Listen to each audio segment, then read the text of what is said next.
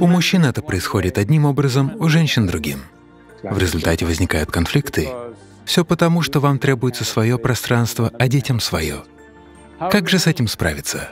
Вам необходимо приобрести кое-что по мере того, как вы становитесь старше.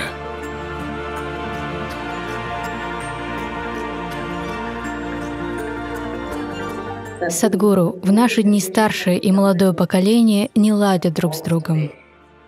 Как сделать так, чтобы опыт пожилых людей и энергия молодежи работали вместе?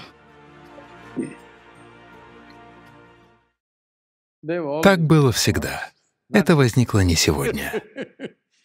Конфликт между старшим и молодым поколением не нов. Настоящая проблема заключается в следующем. Старое поколение не считает себя старым, а молодые люди считают себя взрослыми. Вся проблема в этом. Старики не готовы признать, что они уже старые. Молодые не готовы признать, что они слишком молоды. Они считают себя достаточно взрослыми для всего. Так что кто-то занимает место, на которое претендуете вы. Это происходит не только среди людей. Такое часто можно увидеть среди слонов. Внезапно один молодой самец начинает ходить туда-сюда, гневно расшвыривая все вокруг потому что он встает в оппозицию к более крупному слону-вожаку в стаде.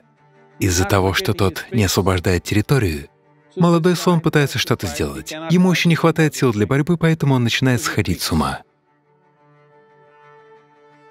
Подростковый возраст.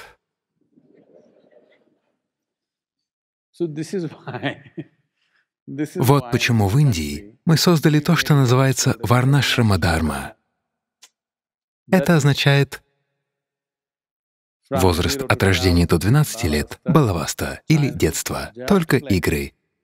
Тело и мозг должны подрасти.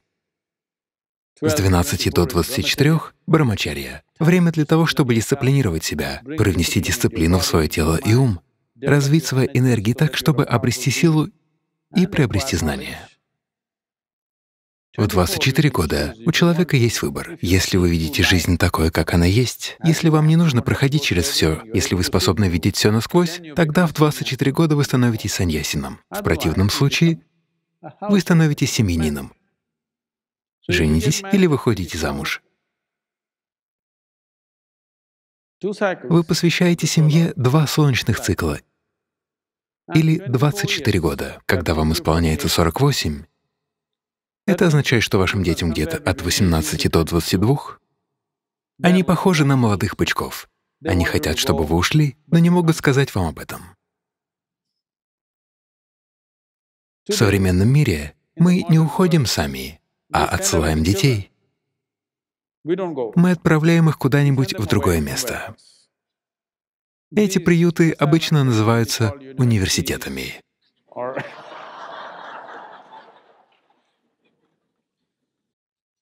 Но в те дни жизнь была связана с сельским хозяйством. И вы не могли оставить свой дом и уехать, потому что это была ваша земля и ваше хозяйство. Вы не могли уехать куда-то и начать жить на новом месте, поэтому кто-то должен был уйти. Итак, в 48 лет пожилая пара, им по 48, оба пожилые, они принимают саньясу и идут разными путями. Муж уходит в одно учреждение, жена в другое, чтобы работать на своей духовной саданой 12 лет. В 60 они возвращаются и снова сочетаются браком. В наши дни супруги не расходятся. Они живут вместе, но при этом все равно заново женятся в 60 лет.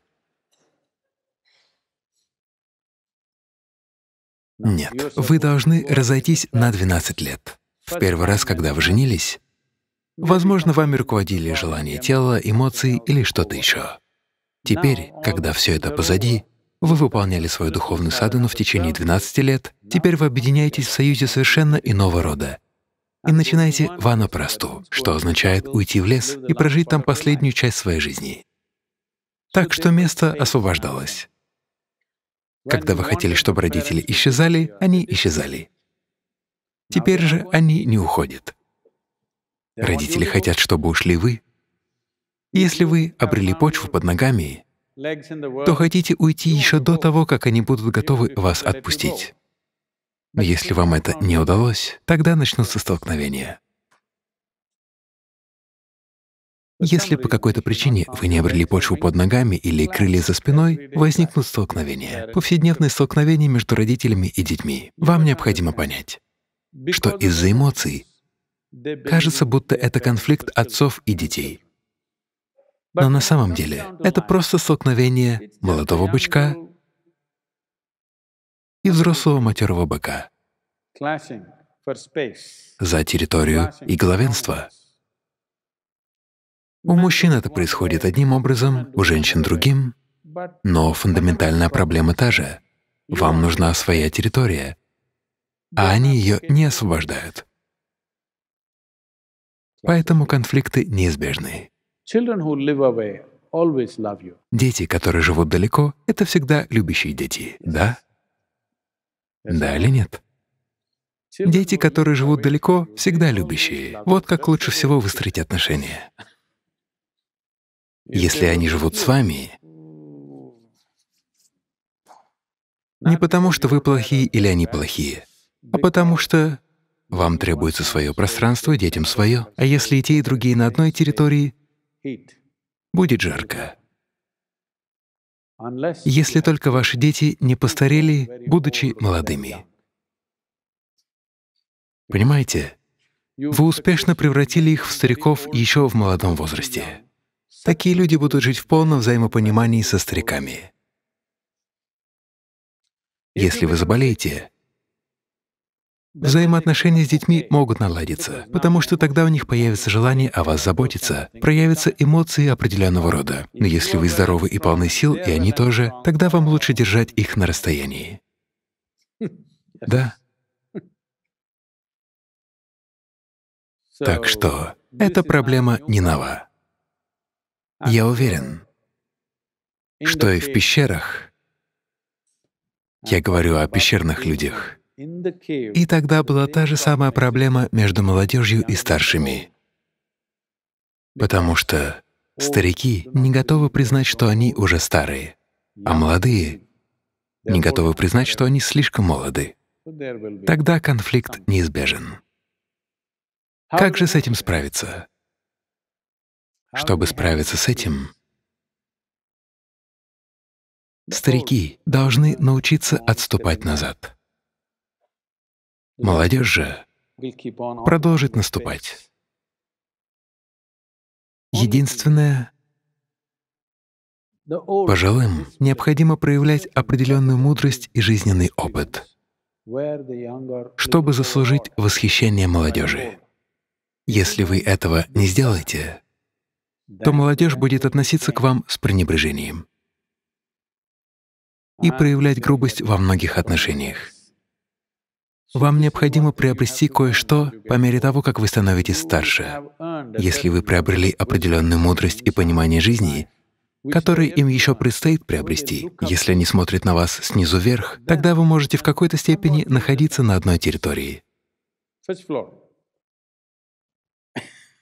в разумных пределах. Они на первом этаже, вы на втором, чтобы они смотрели на вас снизу вверх.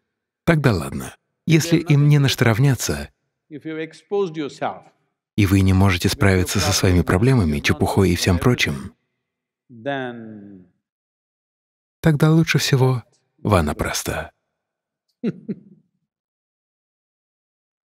Я знаю, что вы искали не такого ответа. Но что я могу сделать? Я не политик, чтобы говорить нужные слова. Я говорю, как оно есть.